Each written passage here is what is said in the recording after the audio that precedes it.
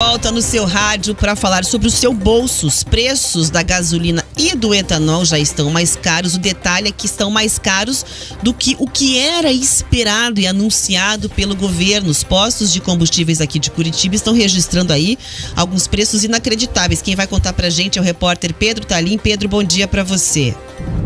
Bom dia, Rafaela, Riva e todos que estão nos acompanhando. Exatamente, o preço dos combustíveis está variando bastante, subiu em alguns locais acima do esperado.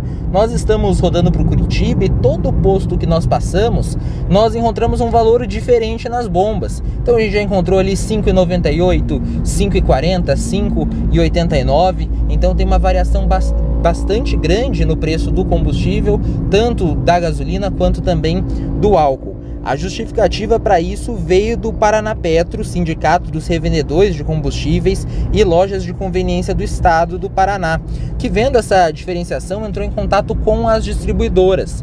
E aí a informação que as distribuidoras passaram foi de que como demorou para sair a medida provisória do governo, que estabeleceu o retorno parcial dos impostos e não total, eles imaginavam um aumento maior e por isso fizeram reajuste na venda do combustível para os revendedores, para os postos de combustível maior do que deveria ser e por isso teve essa diferenciação.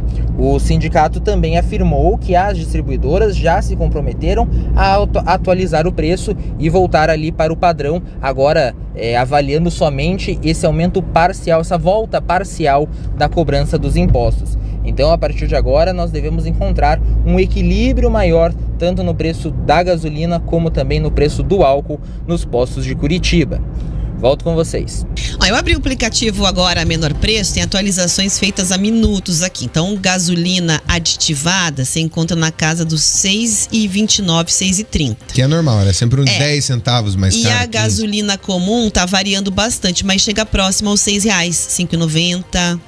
Tem lugar que já tá 6, 5,97, 5,99 tá abrindo aqui o aplicativo. Então chega bem pertinho ali dos 6 reais. Tem mais baixo? Tem. 5 e 11, parece aqui é, no né? Tem gasolina sim ainda. 5 e 19 e tal. É, mas se você circular, você encontra uns preços que você tem que olhar duas vezes para. Oi, é. cheguei certo aquele preço ali? É Não, é assim, isso? né? Você circula para abastecer, pode acabar com o combustível no meio do caminho, de tanto que você tem que rodar para achar gasolina barata aqui na cidade. Tá assim, você pode ficar na mão e tomar multa se tiver com o tanque muito baixo. Então presta atenção nisso. Eu sei que um posto aqui perto da, da onde eu moro, aqui na região do Pilarzinho, ele tá 5,25 ainda, era o preço que estava e o álcool a 3,99. Então é o estoque antigo ainda. Esse movimento está sendo visto, Rafa. Tem dono de posto que, ó, eu tô com o estoque antigo, eu vou cobrar o preço é claro, antigo. E se subir, eu acho que o consumidor tem mesmo que pular fora. Não vai é. dar moral para dono de posto que subiu aí de forma abusiva, é. seja qual for a justificativa. Está muito, muito diferente do preço, Riva. Tem coisa errada. Tem né? coisa estranha, certo? É, e aí, assim, só é que o Haddad, ele não é um gênio da economia, né? Não é. Gente, é lei da oferta e da demanda. Se as pessoas estão buscando e necessitam, o que é que vai acontecer com o preço, Rafa? Não vai aumentar só aquele valor que estava determinado.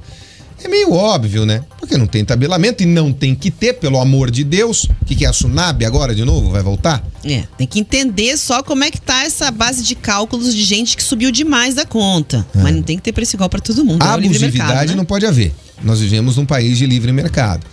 E pode refletir o aumento, por exemplo, que a Petrobras vai fazer de 9%, vai criar um imposto de exportação do nosso combustível em 9%. O que a Petrobras acredita? Que o mundo tem demanda por petróleo. Só que, para nós, pode ser uma vantagem. E por quê? Vai ficar mais caro para quem compra o nosso petróleo lá fora. Vão ter que refinar mais aqui. Só que o problema é o seguinte: a gente só tem 20% do diesel, por exemplo, o brasileiro, o resto vem de fora. Porque o nosso petróleo não é bom de refino. Então nós vamos ter que fazer essa troca. É, tudo que você mexe com uma coisa básica da economia, que é combustível, Rafa, vai dar rolo. Ninguém sai incólume dessa. Ninguém sai sem um, um raspão, uma carraspana. Não sai. Era óbvio que isso ia acontecer, que as pessoas ia ter um aumento maior do que o previsto. Isso era, é, era nítido. Só não viu quem colou para passar nas provas de economia dos próprios colegas. Só não viu isso que ele fez desse jeito.